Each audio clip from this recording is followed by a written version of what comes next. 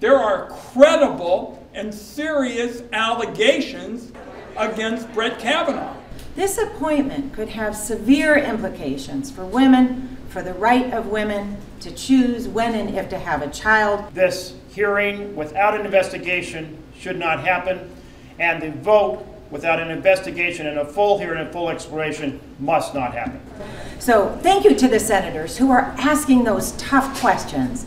Thank you to everyone who's calling for an investigation. And there may well be a Republican of conscience or two or three who could be included to reject this nomination. And there needs to be a credible and serious process rather than something where you just ram this thing through and say, gee, I guess we're too busy, for example, to even listen to witnesses.